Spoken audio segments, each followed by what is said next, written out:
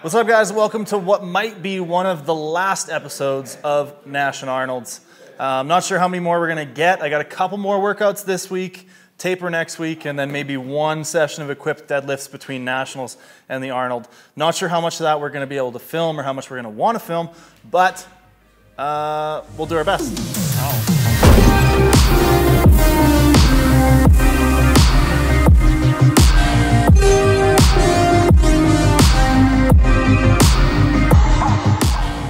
Anyways, today was uh, overall a pretty exceptional day. Uh, I came in, did some high bar squats.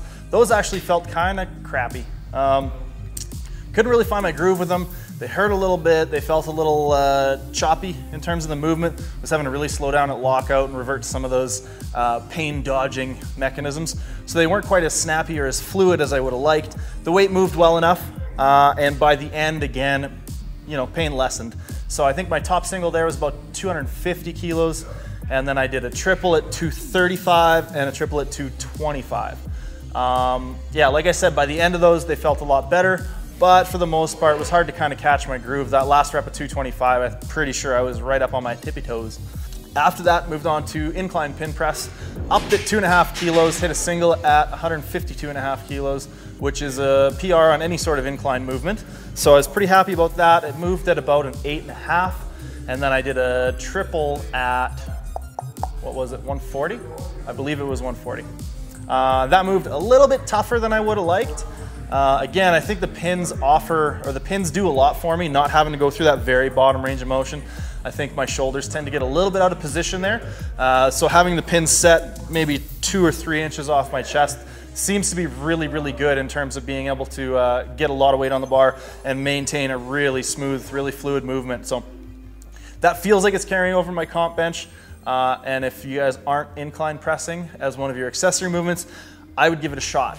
It's really, really helped me. So see if it helps you. Give it a shot. So our question of the day today, guys, comes from Nathan Drake. And Nathan says, as a novice lifter, lifting around a lot of better, more experienced lifters, excuse me, how do you siphon through all the BS when they all try to help you, but give different advice that contradicts itself?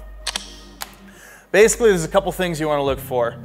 Number one, if people are speaking in absolutes and saying, this will definitely help you, this is definitely the answer, this is definitely what you need to do, I would be wary of that. If people are saying, oh, try this, it might work, chances are the advice is going to be more sound because that's a better way of presenting advice.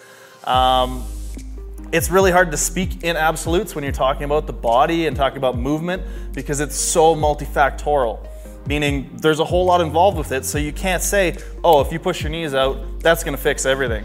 Oh, this is the cause of your knee pain or your hip pain, blah, blah, blah. Things like that often aren't, uh, aren't true, aren't that easy to diagnose, aren't that easy to treat which leads into my next point. Watch out for quick fixes and easy things. Generally, anytime you want to get better, you want to eliminate pain, you want to progress in your lifts, you hit a plateau and you need to break through, it's not as easy as doing, do this exercise, that'll fix everything. Oh, if you add in floor press, your bench is going to increase. Things like that that sound easy and are quick fixes generally don't work. Another thing that I've noticed and a trend that I've seen, and this might not be true for all cases, but if somebody comes to you and offers you unsolicited advice, most of the time it's not worth it. It's not true. If somebody comes up to you and is like, oh, hey, you, you got to do this, got to do that, blah, blah, blah, and comes up to you and is trying to sell you on something or trying to present to you information that you don't necessarily need or want, a lot of times that's not necessarily what you need to be paying attention to. And lastly, I would look for trends in the information that you see. If you listen to 10 different people and eight of them are telling you one thing, chances are that's worth investigating more so than the weird ass things those other two people are telling you.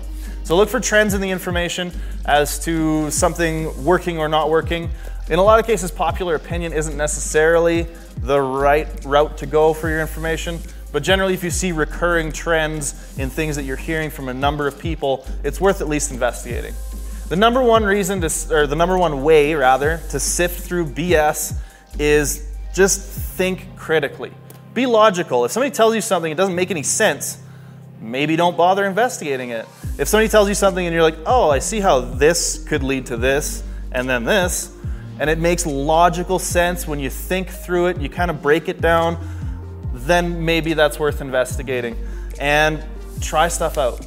Don't be afraid to listen to a whole bunch of different people. Try a whole bunch of different stuff, especially as a novice lifter. It's gonna take you time to figure out what works for you, what drives your progress, what ways of moving keep you pain free or keep you progressing or make you stronger. So don't be afraid to try stuff, but give things a good shot. If you're gonna try different programs, give each program a full run through, a full shot. It's four to eight weeks. See if you see progress. Same thing with movements. If you're gonna change your stance width, your toe angle, and your hand position on the squat, maybe do them one at a time so you can figure out, okay, this has this impact without changing everything and then being like, oh, this feels better, this feels worse. Well, why? Which one of those things that you changed led to that change in your movement that was beneficial? Try things slowly, think critically, look for trends in your information, and be wary of people trying to sell you stuff. That's all I got for today.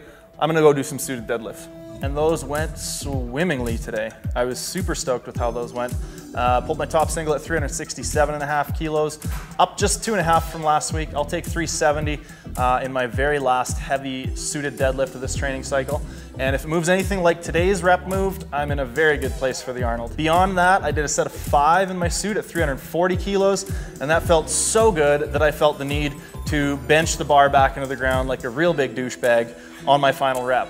Um, I'm usually against stuff like that, but I, uh, I went against my own plans and designs for this training cycle. Was a little bit hyped up. I had some uh, some of the new Harm's Way album in my ears, and uh, it just felt too good not to. I got caught up in the moment, you guys. Got emotional. Forgive me. After that, what did I do next? Oh, I did ram bench, and again, up another two and a half kilos. No signs of things slowing down. I hit 210 kilos for a nice smooth single, and then 200 kilos for a triple which is friggin' awesome. I'm super stoked with how that's feeling, how that movement goes or is going. I'm not getting any shoulder pain. My my body's holding up really well with the benching variations that I'm doing, with all the volume, with all the exposures to heavy singles. So uh, I attribute a little bit of that to the grip change and a little bit of that to movements that take a little bit off the very bottom end. I'm not doing low pin, or sorry, I'm not doing low pin press uh, like comp pin press. I'm not doing long pause stuff right now. I'm just doing my comp bench, incline pin press, where it's a little bit off my chest, and uh, dumbbell bench. Maybe that's contributing to my shoulder health. Hard to say. Anyways, my shoulders are feeling really, really good. Um, I'm not having to get any sort of treatment on them. I'm not having to worry too much about my movements. Everything's kind of clicking right now. So that's really awesome. Overall, this training cycle is going really, really well. Um, yesterday I hit a 799 kilo total in the gym at 8 RP. Um, if you guys are interested in seeing those lifts, check out my Instagram, Calgary Barbell. Uh, but I hit a 276.5, yes, 276.5 kilo squat, and that felt really, really good. Hit 172 and a half kilos on the bench, and then a 350 kilo deadlift, all at eight. So hoping for uh, maybe even a total PR, maybe PRing my bench and deadlift, maybe getting back up into close to PR territory in my squat. I'm very hopeful about this meet. Um, everything feels pretty damn good. Weights are feeling good. Things are moving well. Uh, I mean, knock on wood, but I'm thinking I'm going to come out strong here. And I'm really excited for the Arnold. Uh, there's usually, I don't know, a couple thousand people in attendance, and the pro deadlift is on the Rogue stage. Never been involved in anything um, with that kind of attendance before. Uh, IPF Worlds in, in Pilsen was fantastic. It was really, really cool experience because of the, the scale of it and the grandeur and how professional everything was, was uh, run. But this is going to be, in terms of sheer numbers and people watching, it's going to be a really, really cool experience. But I just figured I'd touch on some, I don't know, some sort of wrap up and concluding thoughts on the training cycle because, like I said, I'm not sure how many more of these we're to do. But that's it for today. I want to thank everybody for tuning in and coming along with us on this mystical journey to Nash and Arnold's. And uh, we're to have some more cool stuff coming up. After this, I'm to start training for Classic Worlds, also here in Calgary, which I'm super, super jazzed about. And after that, maybe get healthy, make my hip stop hurting. We'll see. Anyways, I don't know if you guys have seen this thing here. but we are gonna have zip hoodies available very soon. I say this all the time, but it's hype. We're hyping you guys up. Um, new hats. These shirts are currently available if you're interested. And that's the end of my shameless plugs. We'll see you guys in the next video. Leave a like if you liked it. Ask us some more questions of the day. I really love having that sort of discussion segment in the middle of these videos. And we will see you guys in the next video. Bye bye.